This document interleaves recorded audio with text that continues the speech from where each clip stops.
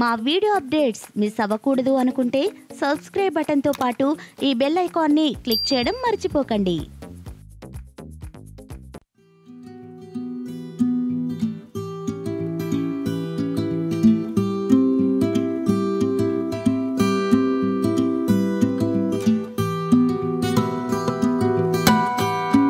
నిజమేమిటి అసత్యం ఏమిటి మాట్లాడుకుందామని నిర్మాతగా ఒక విషయంలో ఏడుస్తూ ఉంది. హృదయం ఏడుస్తూ ఉంది. కళ్ళల్లో నీడు కూడా రావడం లేదు. ఏమిటి అని దాని గురించి వచ్చాను. ముఖ్యంగా జర్నలిస్టు సోదరులందరికీ చెప్పక్కర్లే నిర్మాత కష్ట సుఖాలు. తెలుసు మీకు. ప్రజలకు కూడా చాలామందికి తెలుసు. వీలైనంత వరకు మాట్లాడుకున్నాం అంటే మూడ్లో చెప్తాను ఎందుకు ఏడుస్తుంది హృదయం? నాలాంటి వాళ్ళు చాలామంది ఉన్నారు ఇండస్ట్రీలో. వాళ్ళు బయటకు రాలేక వచ్చి చెప్పినా వినేవాడు లేక అలా ఉన్నారు. నేను చెప్పినా వింటారా అంటే కనీసం మోహన్ బాబు నలభై రెండు నలభై మూడు సంవత్సరాల నడ జీవితం కనీసం కొంతమందికైనా చెవుల్లోకి పెడుతుందనే ఉద్దేశంతో ఆ బాధ ఏంటంటే సినిమా రిలీజ్ అయిన వెంటనే ఇంటర్నెట్లో పెట్టారు. ఒక ఛానల్లో రెండు లక్షల మంది చూశారని. ఛానల్ అంటారా దాన్ని? అది పేరు ఏదో ఒక దానిలో పలానా ట్యూబ్ అని ఎందుకు? అదేదో అదేదో ఒక దానిలో. ఒక ఒకదానిలో రెండు లక్షల చిల్లర ఒకదానిలో డెబ్బై ఐదు వేలు ఇంకో దానిలో నలభై వేలు. ఇలా చూశారని అమెరికా నుంచి ఫోన్ చేస్తే తీసిన వాడికి కూడా తల్లి తండ్రి ఉంటారు. పెళ్ళి చేసుకుంటే భార్య ఉంటుంది బిడ్డలు ఉంటారు. ఒకడికి ద్రోహం చేస్తే స్వర్గం నరకం అనేది ఇక్కడే ఉంటుంది. తాత్కాలికంగా బాగుండొచ్చు.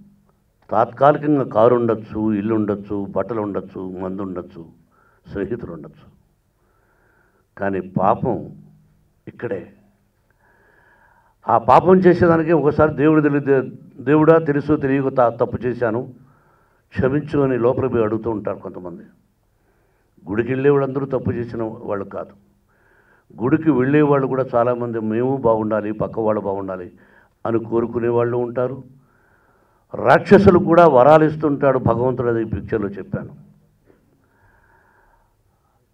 ఆ విధంగా ఒక నిర్మాత తీసి ఎంతో నేను తొమ్మిది మాసాలు కష్టపడ్డా. చెయ్యి ఆపరేషన్ నీ ఆపరేషన్. శరీరం ఎంత కష్టపడిందో నా దర్శకుడు తెలుసు నా టెక్నీషియన్స్ తెలుసు. చూసిన మీకు తెలుసు. వయస్సు వయస్సు అంటే నా వయసు మీకు తెలిసి ఉండొచ్చు.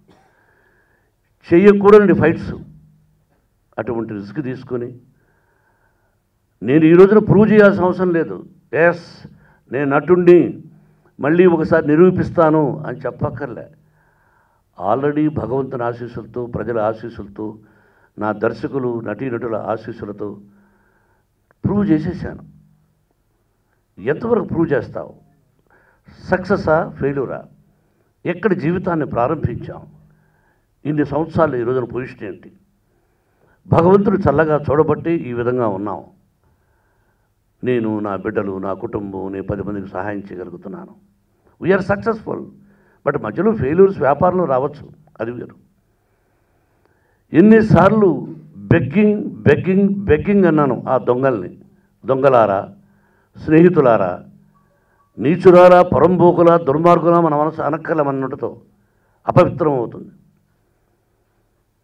ఒక తల్లికి పుట్టావు ఆ తల్లి మహాతల్లి. తల్లి జన్మనిస్తుంది కానీ తలరాతని ఇవ్వదు కదా. వాడిని దుర్మార్గుడిగా బ్రతకమని ఏ తల్లి చెప్పదు. అంత బాధాకరమై హృదయం ఏడుస్తూ ఉందని చెప్పాను ఆ కారణం. యాజ్ ఏ ప్రొడ్యూసర్ ఇలా వీడియోలు వస్తూ ఉంటే అదే డివిడీలు అన్నింటిలో వస్తూ ఉంటాయి. కనీసం యంగర్ జనరేషన్ దాన్ని చూసే వాళ్ళ రిక్వెస్ట్ ఇంగ్లీష్లో రిక్వెస్ట్ తెలుగులో ప్రాధేయపడడం. అయ్యా మీరు కంప్యూటర్స్ చదువుతున్నారా చదువుకుంటున్నారా ఉద్యోగం చేస్తున్నారా ఫ్యాక్టరీలు పెట్టుకోన్నారా కంపెనీలు పెట్టుకోన్నారా చూసి మహానుభావులారా చూడొద్దండి. మన ఇల్లు బాగుపడాలంటే మనం ఇంట్లో ఉండే వ్యక్తి ఇప్పుడు మా తండ్రి ఇంట్లో ఉంటే మా తండ్రి. నేను ఇంట్లో పెద్దనుకుంటే నేను. నన్ను నన్ను బట్టే కాపురం సంసారం నడుస్తుంది. ఈ ఇంట్లో కూడా ఇంట్లో పెద్దను బట్టి కం సంసారం నడుస్తుంది. అది ఇల్లాలు కావచ్చు భర్త కావచ్చు. అలాగా మీరు మీరు మన ఇల్లు చక్కబడాలంటే ఇంటివాడు బాగుండాలి. మన రాష్ట్రం బాగుండాలంటే రాష్ట్ర ముఖ్యమంత్రి బాగుండాలి. దేశం బాగుండాలంటే దేశ భా- భారత ప్రధాని బాగుండాలి. వాళ్ళందరూ బాగుండాలంటే మనం వాళ్ళకి చేయూతనివ్వాలి. ఇలా నీచాతి నీచంగా వచ్చినటువంటి డివిడీని అవి చూస్తే భగవంతుడు ఉన్నాడని నమ్ముతున్నాము నమ్మకుండా ఉండేవాళ్ళు తక్కువ నమ్మేవాళ్ళు ఎక్కువ. ఏదో ఒక శక్తి మనల్ని పుట్టించింది. సర్వనాశనం చేస్తుంది. ఆలోచించుకోండి ఎదుటివాడు చెడిపోవాలి చెడిపోవాలని ఫేస్లో మనం అంటూ ఉంటే మన మొహం పాడైపోతుంది వాడికంటే ముందు మనమే చెడిపోతాం. ఇటువంటి నికృష్టమైనటువంటి బ్రతుకుతున్నటువంటి తీసిన వాళ్ళు దాన్ని చూసి ఎంకరేజ్ చేస్తున్నటువంటి మహానికృష్టులు ఇటువంటి వాళ్ళు దేశం ఎక్కడ ముందుకు పోతుంది? ప్రపంచ దేశాల్లో కూడా అక్కడికో ఎక్కడ వచ్చిన ఇంత ఘోరంగా రావు. ద డే రిలీజ్ అయిన డే. ఆ ఆపరేటరా? ఆ ఆపరేటర్ తెలియకుండా ఓనరా? ఓనర్ తెలియకుండా ఆపరేటరా? వీళ్ళ తెలియకుండా ఎవడా? సర్వేశ్వరుడికి ఎరుక ఆ బాబాకి ఎరుక. షిరిడీ సాయినాథుడికి ఎరుక. షిరిడీ సాయినాథుడు అల్లా ఉన్నా అన్నారు జీసస్ అన్నారు. ఈ ముఖ్యంగా మిమ్మల్ని రమ్మనడానికి కారణం ఇది. రెండవది అద్భుతమైన పేరు వచ్చింది విష్ణుకి. రాంగోపాలవర రౌడీ తీస్తే ఏమండి ఎంత అద్భుతంగా చేస్తున్నాడండి విష్ణు అన్నారు. అంతకుముందు డి తీసాము దూసుకెళ్తా దేనికైనా రెడీ అన్నీ చేశాడండి బట్ ఎంటర్లీ డిఫరెంట్. ఇది ఈ పాత్ర కూడా చేయగలడా అని నిరూపించాడు రామ్ గోపాల్ వర్మ. ఈ సినిమాలో ఏమిటా ఏమిటా అనే దర్శకుడు మేమనుకుంటే నేను సందేహిస్తున్నాను అతనే ఫ్లాష్ బ్యాక్ డిసైడ్ చేశాడు డైరెక్టర్ని మెప్పించాడు రైటర్ని మెప్పించాడు మ్యూజిక్ అతనే కూర్చొని సాంగ్ చేసుకున్నాడు శభాష్ అనిపించుకున్నాడు.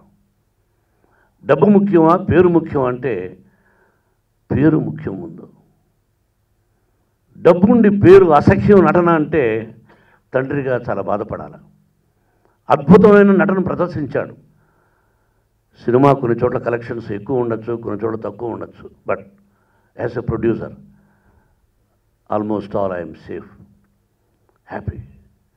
ఎన్ని రకాలుగా హ్యాపీ అన్నది ఎలా విపులంగా చెప్పాల్సిన అవసరం లేదు. ఆనందం ఉంది. ఒకవేళ మునిగిపోయి ఉంటాం నష్టం లేదు. మునిగిపోలే. మునిగిపోయిన సినిమాలు ఉన్నాయి. ఒకరి జీవితాలు అనవసరం నా జీవితంలో కూడా ఉన్నాయి. హెడ్ మళ్ళీ అల్లుడు గారికి అయితే జీరో అయ్యా. ఏం లేదు. అంతకుముందు చేసిన సినిమాలని నైంటీ ముందు వరకు చేసిన వరకు పట్!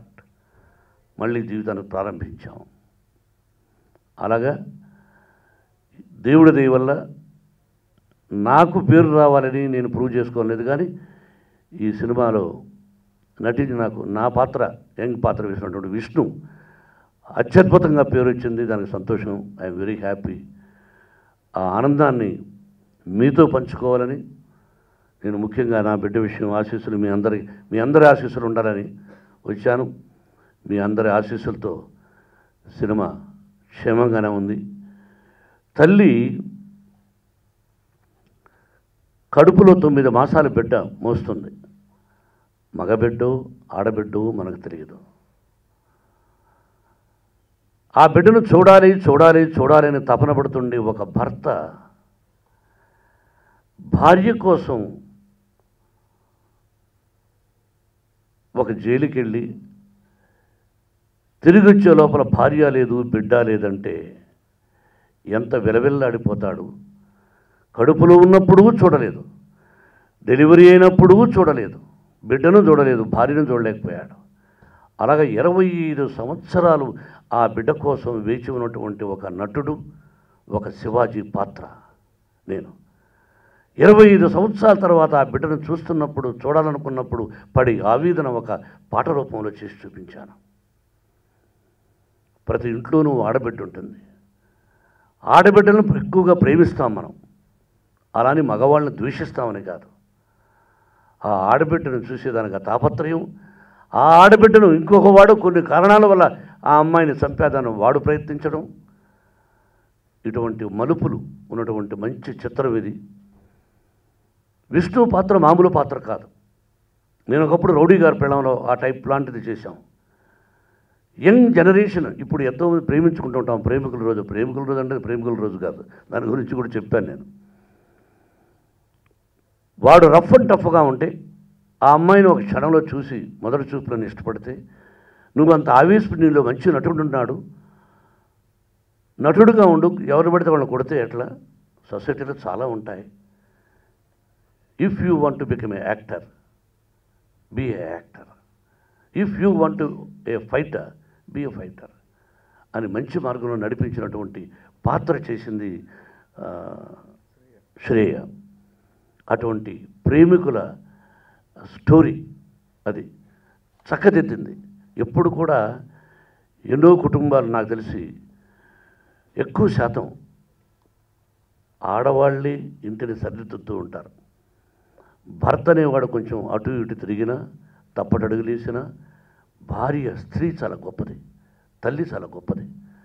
కాబట్టి చూసి చాలామంది తెలియని వాళ్ళు కూడా మిత్రులకు ఫోన్ చేసి మోహన్ బాబు గారు ఎక్కడ దొరుకుతారు? ఈ నెంబర్లో దొరుకుతారని చెప్పి ఫోన్ చేసిన వాళ్ళు ఉన్నారు. ఈ సినిమాకు వచ్చినటువంటి అప్రిషియేషన్ అంటే అభినందన నేను ఇంతకు ముందు హిట్స్ వచ్చినా ఇంత ఇది రాలేదు. ఎలా చేశారండి? ఏం చేశారండి అని. అరే నా సంగతి కదా ముందు విష్ణుబాబు చెప్పాను కాబట్టి ఇది ఎక్కువ సెల్ఫ్ డబ్బా కాదు. నా ఏ తండ్రి నా బిడ్డను చూసి ఆనందించే విషయం. కాబట్టి సంతోషాన్ని మీతో అందరితో పంచుకుంటున్నాను. పంచుకోవాలనుకున్నాను వచ్చాను. మీ అభిమానం ఎప్పుడు నాకు ఇలాగే ఉండాలి? వీడియో రిలీజ్ అయిన రోజునే పైరవీ చేస్తున్నటువంటి వాళ్ళు కూడా ఆ దేవుడు చల్లగా చూడాలని కోరుకుంటున్నాను.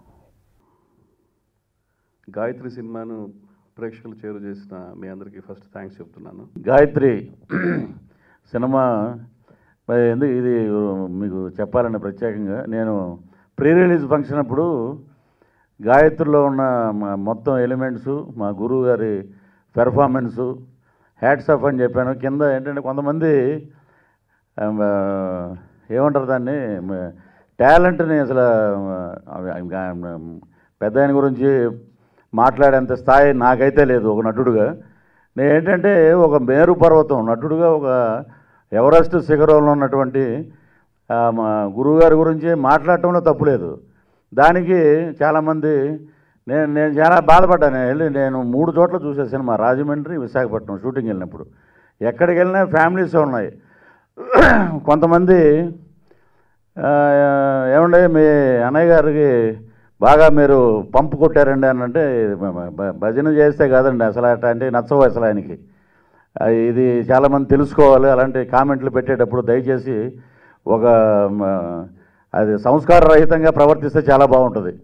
నిన్న అన్నయ్య గారు ఫోన్ చేశారు ఎక్కడికి వెళ్ళినా ప్రేక్షకులు మెయిన్ ఎక్కువ ఫ్యామిలీస్ మహిళలు ఎక్కువగా గాయత్రి సినిమాకి బాగా వస్తున్నారు.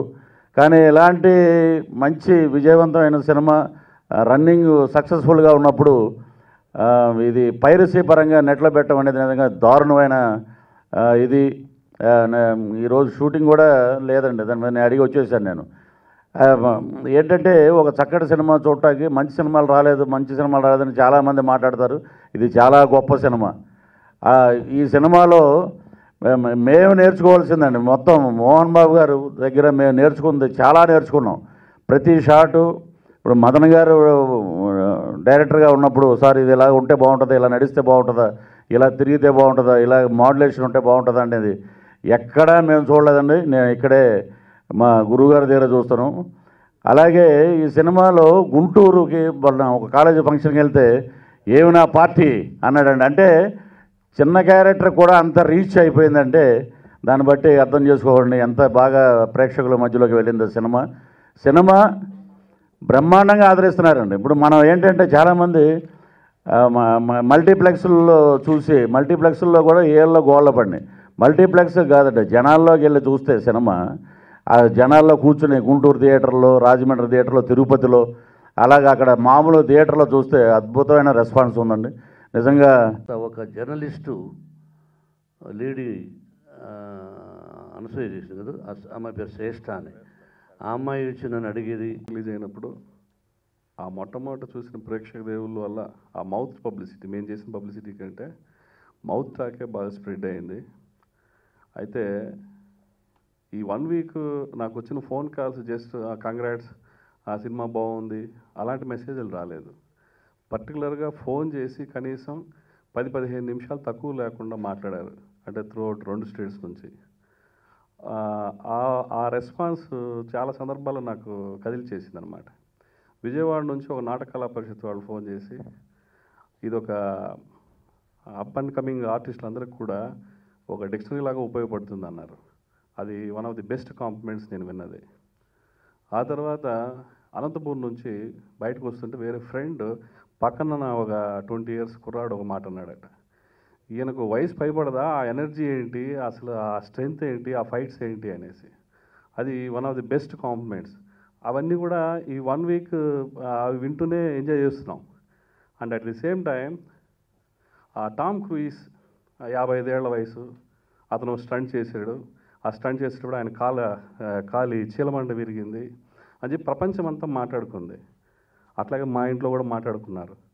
మా అన్నయ్య గారి పిల్లలు కూడా కంటిన్యూగా టామ్ క్రూజ్ గురించి మాట్లాడుతుంటే వాళ్ళని తిరుపతికి ఆ ఫైట్ సీక్వెన్స్కి తీసుకొచ్చాను. దాదాపు ఏడు రోజుల పాటు షోల్డర్ పెయిన్ ఓ పక్క బాంబేలో డాక్టర్తో మాట్లాడుతూనే ఆ ఫైట్ క్యాన్సిల్ చేయండి అని వాళ్ళు చెప్తున్నా సరే చేయకుండా డూప్ లేకుండా ఆ ఏడు రోజులు ఎండలో ఫైట్ చేశారన్నమాట. అది ఆ టామ్ క్రూయిస్ కంటే ఇంకా వయసులో పెద్ద ఆయన మోహన్ బాబు గారు చేసినప్పుడు ఎందుకు ఇట్లాంటి వాటిని మనం ఎందుకు డిస్కస్ చేసుకో మనలో ఉన్న గొప్పతనమో మన ఆర్టిస్టుల గొప్పతనమో మనం ఎందుకు ఇప్పుడు పరాయి వాళ్ళని పొగుడుతుంటాం మనల్ని మనం గుర్తించుకోమని ఒక చూపుకొని వేసింది అది నా ఇంట్లో వాళ్ళు కూడా నేను అనమాట. సో వాడు ఒక ఐదు నిమిషాలు రోడ్డు మీద నిలబడుకొని ఆ షూటింగ్ చూడడానికి వాడు అలసిపోయి చెట్టు కిందకి వెళ్ళి ఏదో జ్యూస్ ఇంకోటి తాగడం మొదలెట్టాడు. సో రియాలిటీ ఏంటంటే బ్రూస్లీ ఒక స్టేట్మెంట్ ఇచ్చారు. Knowing is not enough we must apply అని. And at the same time willing is not enough we must do అని. సో మనకి ఎన్నో విషయాలు తెలుస్తాయి కానీ మనం అప్లై చేయం అలాగే చాలామందికి విల్ పవర్ ఉంటుంది కానీ వాళ్ళు అది ని ప్రాక్టికల్గా చేయరు. ఆ రెండిటికి నిలువెత్తు నిదర్శనం మోహన్ బాబు గారు. మిగతా వాటితో పని లేదు సక్సెస్ ఫెయిల్యూర్తో పని లేదు స్క్రిప్ట్ నచ్చింది. ఇందులో ఒక ఎలిమెంట్ చెప్తున్నాం. గర్ల్ చైల్డ్ యొక్క ఇంపార్టెన్స్ చెప్తున్నాం. కూతురు చేతిలోనే విలన్ చావడం అనే దానికి అతను తన క్యారెక్టర్ని కూడా పక్కన పెట్టి ఆ నిఖిలా విమల అనే అమ్మాయి చేత కూతురే చంపాలి అనే కన్క్లూజన్కి అతను వచ్చాడంటే hats off to Mohan Babu garu. అతను ఒక పాత్ర పరిధి మేరకే చేశారు అందులో. సో ఈ గాయత్రి ఫిలిం ఇంకో సేయింగ్ ఉంది. అదేంటంటే విలువైనవి కాస్త ఆలస్యంగా గుర్తింపు పొందుతాయి. ఖచ్చితంగా చెప్తున్నాను.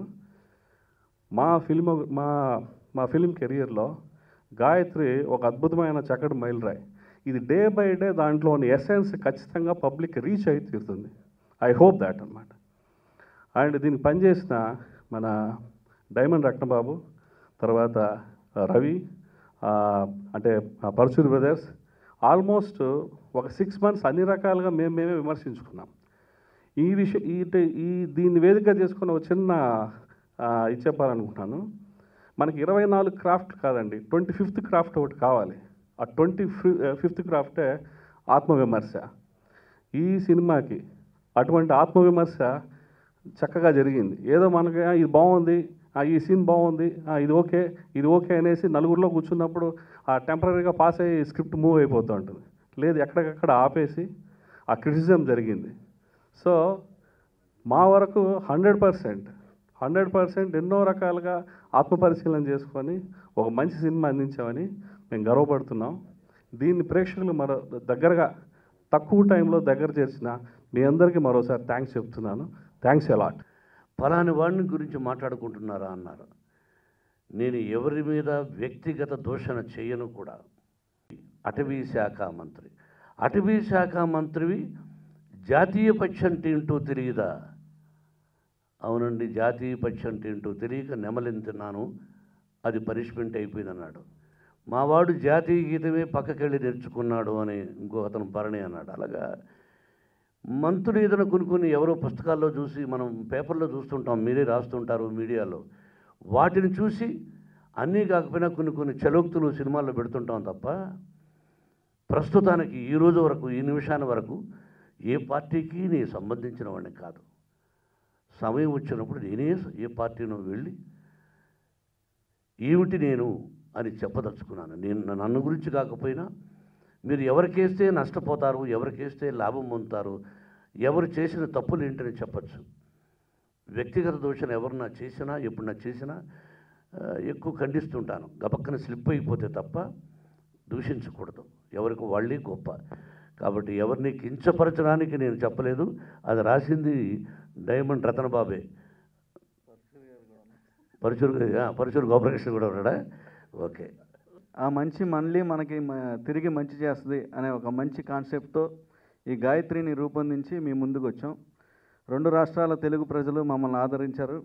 మీడియా మంచి సపోర్ట్ అందించింది. వాళ్ళందరికీ ఈ సందర్భంగా థ్యాంక్స్ చెప్తున్నాను. ఒక సినిమా ఫెయిల్యూర్ అవడానికి సో మెనీ రీజన్స్ ఉంటాయండి. కానీ ఒక సినిమా సక్సెస్ అవ్వడానికి ఒకే ఒక రీజన్ ఉంటుంది టీం వర్క్. ఒక మంచి టీంతో మా ప్రాజెక్ట్ స్టార్ట్ అయింది. రవి బయ్యవరపు ఒక వేరే భాష నుంచి ఒక సీడీ తీసుకొచ్చి మోహన్ బాబు గారికి చూపించడం జరిగింది. అక్కడ ఈ కథ మొదలైంది. దానికి మదన్ గారు తోడయ్యారు. ఆయన ఒక రచయిత. ఒక దృశ్యకావిలంగా మలిచారు. ఇక్కడ ప్రత్యేకంగా చెప్పుకోవాల్సిన వ్యక్తి ఒక స్క్రిప్ట్ డాక్టర్ కింద పర్చూరు బ్రదర్స్ గారు వర్క్ చేశారు. ఆయన గాలి లేపేస్తుంది నీరు ముంచేస్తుంది అలాంటి బలమైన డైలాగ్స్ అలాగే పొలిటికల్గా కొన్ని డైలాగ్స్. ఆయన రచనా శైలిలో ఎన్నో అద్భుతమైన డైలాగ్స్ అందించారు. అర్థం చేసుకుంటారో అపార్థం చేసుకుంటారో అని ఈ సినిమాకి ఆయన కలం బలం చేకూర్చింది. ఈ సందర్భంగా ఆయనకి థ్యాంక్స్ కొడవళ్ళతో కోసుకుంటాం. నువ్వు కొడవళ్ళతో నరుకుతావు అన్నావు అన్నయ్య నటన గురించి మాట్లాడేంత పెద్దోడు కాదు. అన్నయ్య నాకు నటుడిగా ఇక్కడ జీవితాన్ని ఇచ్చారు. పెదరాయుడు సినిమాలో తమ్ముడు యాక్టర్ ఇచ్చి. ఆ రోజు నుంచి ఈ రోజు వరకు నేను ఆయనకి తమ్ముడుగానే ఉన్నా. ఆయన అన్ని సినిమాల్లో నటిస్తూ ఉంటా. ఇందులో కూడా మంచి క్యారెక్టర్ ఇచ్చారు నాకు. శివాజీ క్యారెక్టర్ ఇందులో ఎంత గొప్పదో నాకు బాగా నచ్చింది గాయత్రి పటేల్ క్యారెక్టర్. ఆ క్యారెక్టర్కి ఈ క్యారెక్టర్కి చాలా డిఫరెన్స్ కనిపిస్తుంది సినిమాలో. థియేటర్లో అయితే ఆ క్యారెక్టర్ ఎంట్రన్స్ నుంచి ఆ డైలాగ్ వేరియేషన్ గురించి విపరీతమైన అప్లాజ్ ఉంది. నాకు ఈ సినిమాలో ఆ క్యారెక్టర్ నాకు చాలా బాగా నచ్చింది. ఆఫీసర్ క్యారెక్టర్ చాలా సిన్సియర్గా చాలా సీరియస్గా చేశారు. అలాగే the cinema. Out and out comedy చేశారు. ఆడో రకం ఈడో రకం. ఇప్పుడు ఆచార్య అమెరికా యాత్ర కూడా అద్భుతంగా చేశారు. అలాగే ఇప్పుడు ప్రతి సినిమా రిలీజ్ అప్పుడు అందరూ పైరసీ గురించి మాట్లాడుతున్నారు. అది చాలా పెద్ద ప్రాబ్లం ముందుగా గురుగారికి చాలా థ్యాంక్స్ చెప్పాలండి. ఎందుకంటే ఎవరైనా ఏదైనా ఆపదలో ఉంటే నిజంగా గురుగారు మాత్రం అందరికి ఆదుకునే మనిషి అండి. ఎందుకంటే నాకు పర్సనల్గా తెలుసు. నేను పిల్లని అడాప్ట్ చేసుకున్నాను. మా పెద్దబాబుకి సరే ఎడ్యుకేషన్ ఇస్తున్నారు తిరుపతిలో? నేను చెప్పాను విష్ణుబాబు గారికి చెప్పాను సార్ కొంచెం సినిమాలు తగ్గాయండి అంటే పర్లేదు నేను మిమ్మల్ని హెల్ప్ చేస్తానని. నిజంగా విష్ణుబాబు గారికి చాలా చాలా థ్యాంక్స్ చెప్పాలి. ఎందుకంటే విష్ణుబాబు ప్రతి పిక్చర్లో నాకు అవకాశం ఇస్తున్నారండి. ఎందుకంటే నాకు చాలా బాగా ఏడుపు వచ్చేసింది. కానీ నిజంగా చాలా థ్యాంక్స్ అండి గురుగారు. మా లాంటి వాళ్ళకి ఎంకరేజ్ చేస్తున్నారు. అలాగే డైరెక్టర్ గారు మదన్ గారు రతన్ బాబు గారు అందరికీ థ్యాంక్స్ అండి. Thank you so much. నా వైఫ్ ఏంటి? కొంతమంది ఆడపడుచులకి ఏంటి? ఒక విషయం చెప్పదలుచుకున్నా. టీవీలో మీ అందరూ తెలుసు సీరియల్ వస్తే అంకితం అయిపోతున్నారు. కొన్ని టీవీల్లో ఆడ ఆడపడుచును ఆడ ఇంకొక ఆడపడుచు శత్రువుగా చూపిస్తున్నారు. ఆడదాన్ని అని అనకూడదు అనుకుంటాను ఒక లేడీని ఒక ఆడ ఆడ మనిషిని ఇంకొక ఆడ మనిషిని విలన్గా చూపిస్తున్నారు. మగవాళ్ళు విలన్స్ తక్కువ దానిలో. ఎక్కువ టీవీ సీరియల్స్లో లేడీస్ని విలన్గా చూపిస్తున్నారు. అటువంటివి ఎక్కువ చూస్తున్నారు కానీ ఈ సినిమాలో ఒక తండ్రి ఎంత ఆవేదన పడ్డాడు ఇరవై సంవత్సరాలు ఆ బిడ్డను చూడకుండా ఒక ప్రియురాలు ఇంకొక అతన్ని ఎలా ప్రేమించి అతన్ని మంచిదారిలో పెట్టింది. ఒక నీతివంతమైనటువంటి చిత్రం చూడదగినటువంటి చిత్రం. ఒకరి నోట్లో ఒకరు ముద్దులు రహస్యంగా పెట్టుకోవాలి కానీ పబ్లిక్లో పెట్టుకోకూడదు. బట్ అటువంటి చిత్రాన్ని ముద్దులు మాత్రం లేవు. మరి ఎందుకు? మరి కాబట్టి ఇంటిళ్ళ పాది వెళ్ళి ఒక దరి ఒక ఒక నీతి ఉన్న సినిమా ఇది. Every generation must see this movie. అది చూడమని కోరుకుంటున్నాను. Thank you very much. అందరికీ కొంత సడన్గా చెప్పాం కాబట్టి కొంతమంది రాలేకపోయి ఉండొచ్చు. Thank you Prithvi I'm very happy shooting మధ్యలో వచ్చావు రాజా రవీంద్ర అమ్మాయి. నువ్వు అన్నావు నీ బిడ్డను చదివిస్తున్నాను అని. భగవంతుడు నాకేదో ఇవ్వగలిగాడు కాబట్టి నేను చదివిస్తున్నా. దానిలో థ్యాంక్స్ వద్దు గుర్తుపెట్టుకో చాలు. Thank you sir director Madan you did good job Ratan Babu thank you thank you very much for everybody